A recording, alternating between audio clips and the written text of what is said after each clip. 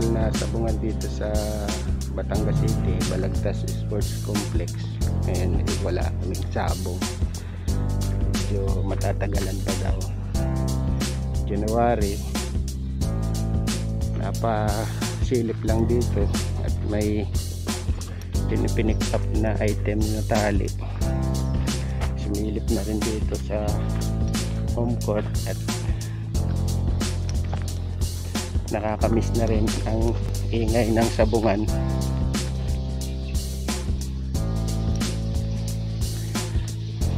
Oh, kantin namin dito.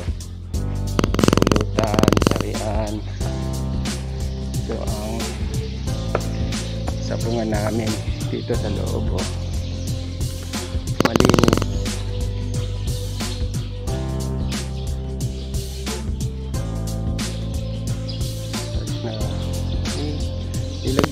na din ng ng mga distances para kung sakaling magkaroon nga ng sabong eh, kahit paano eh, nakapag-adjust na. Pero medyo uh, tatagalan pa. So ito pasilip lang dito. Kakamis na.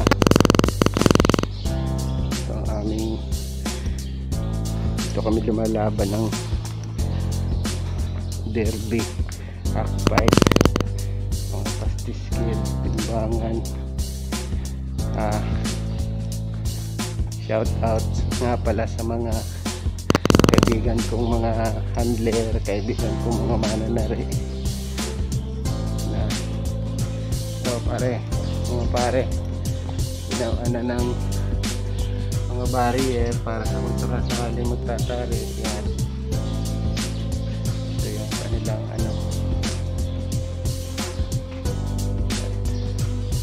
Siyempre kahit pa paano dapat mag-a-adjust mga sabungan kung ano yung pwedeng gawin para magkaroon ng social distancing dito.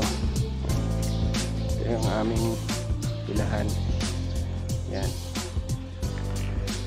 Ah, sana magkaroon na ng hanap buhay ulit kasi medyo napakatagal na.